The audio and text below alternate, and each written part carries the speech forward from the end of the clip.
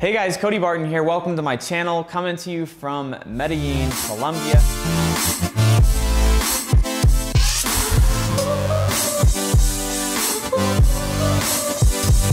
And in this video, I want to share with you the four levels of financial freedom. And the reason that I wanted to do this is for you to better understand, okay, number one, where am I at? And then number two, where am I trying to go?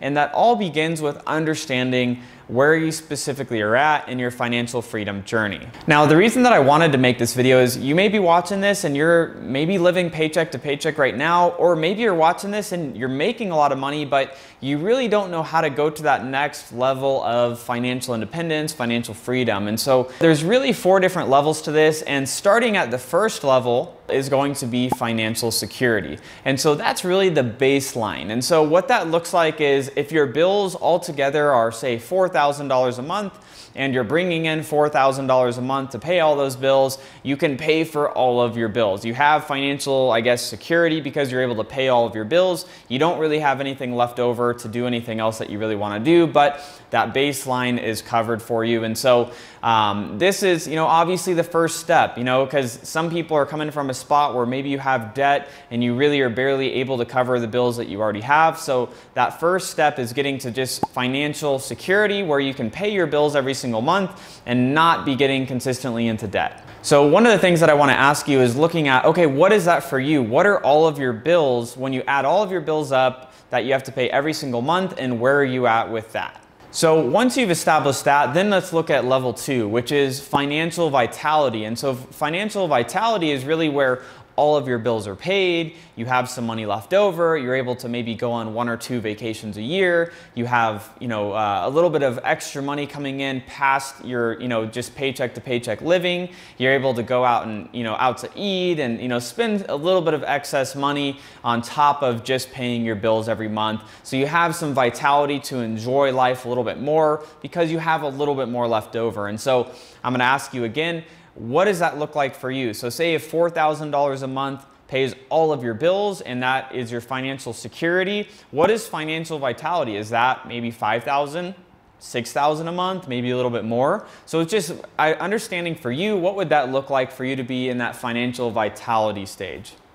Now, the third stage is where life starts to get a lot more fun, where you have financial independence. And so financial independence is really where you have your baseline bills covered, you have, you know, vitality covered where you're able to go on some vacations. Financial independence is where you probably have some sort of business or some sort of assets or investments that are paying you so you have some leverage in your life where all your bills are paid, you can go on vacation, your money still keeps coming in, you maybe have some employees or you have some team members that are helping leverage some of your business out that you're building so you're able to still have money coming in when you're not working.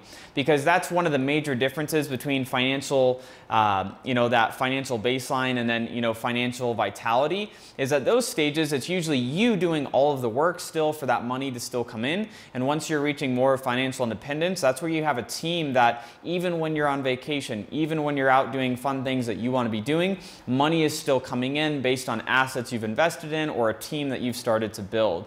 And that's where, you know, what, what does that look like for you and your life? So we talked about maybe you're at 4,000 a month for your baseline, maybe five, 6,000 a month for the vitality. Um, and then, you know, this independent stage, maybe that's eight, nine, $10,000 plus a month where you're able to do all the things that you want um, to an extent where you're able to live a really good life and have you know financial independence where an expense comes up it's not too big of a deal. You know a health challenge comes up you can cover it and make sure that's taken care of. You could help support your family even better maybe be able to help give back in the form of charity and other things. So you know I'm challenging you on that third stage. What does that financial independence look like for you to be at that stage all right, and so looking at the last stage here, which is true financial freedom. This, the main difference between financial independence and financial freedom is that your financial freedom is when this is residual income. This is the income that regardless whether you're working or you're not working, this income's coming in. That could be in the form of rental properties. That could be in the form of, you know, buying businesses that you're a passive investor in.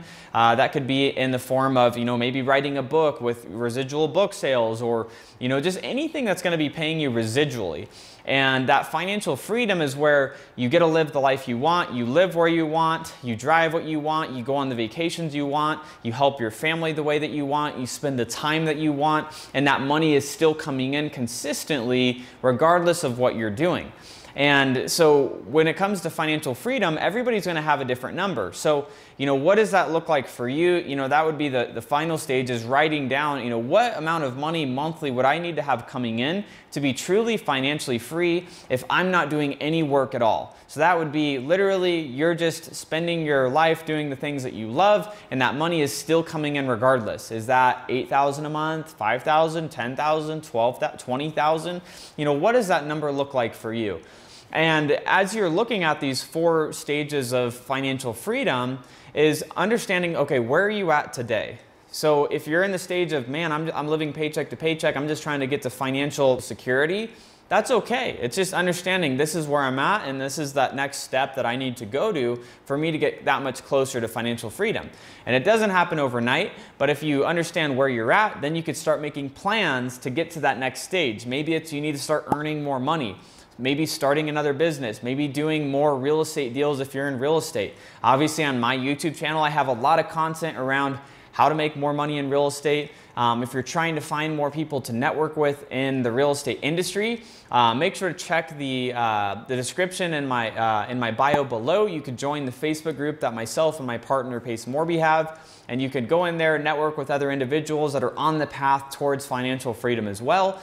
Because I can tell you this, when you get to a point in your life where you have financial freedom, that's where I am at. You can do a lot of fun things. I mean, right now, I am, you know, I was in Miami for almost 10 days. I'm in Medellin, Colombia for 10 days. I'm going to Michigan for my friend's birthday to hang out on the Lake Michigan. Then me and my girlfriend are going to Costa Rica for two weeks to celebrate my sister's 30th birthday, and then to surf and go do waterfall tours and go see monkeys and all this fun stuff. And the reason that I'm able to do that is because I've spent years, I've been an entrepreneur for 10 years. I've spent years developing passive income streams, years developing businesses, people, teams to be able to create this lifestyle where I'm able to do a lot of fun things and I'm able to enjoy my life to the fullest. But again, it didn't happen overnight. And that's where I wanted to share this video with you today is just understanding where are you at, where do you want to go, and what is that one next step that you can do today to get there.